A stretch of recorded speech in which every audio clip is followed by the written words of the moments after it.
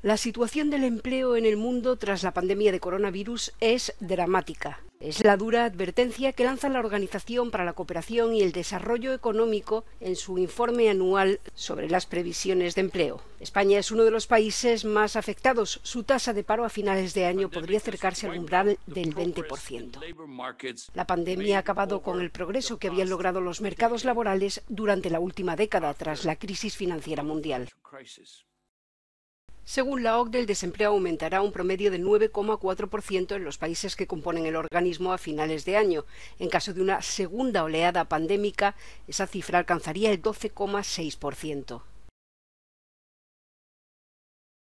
Estas cifras no transmiten las enormes dificultades que implica un aumento del desempleo de esta magnitud. Significa un aumento enorme de la pobreza, significa bancarrotas personales. Al contrario que en la crisis de 2008, en esta ocasión el impacto ha sido mayor en las mujeres, pese a que desempeñan un papel fundamental en la lucha contra la pandemia. Constituyen dos tercios del personal sanitario en todo el mundo, incluido un 85% de enfermeras y matronas, y representan el 90% de los trabajadores de atención sanitaria de larga duración en los países de la OCDE.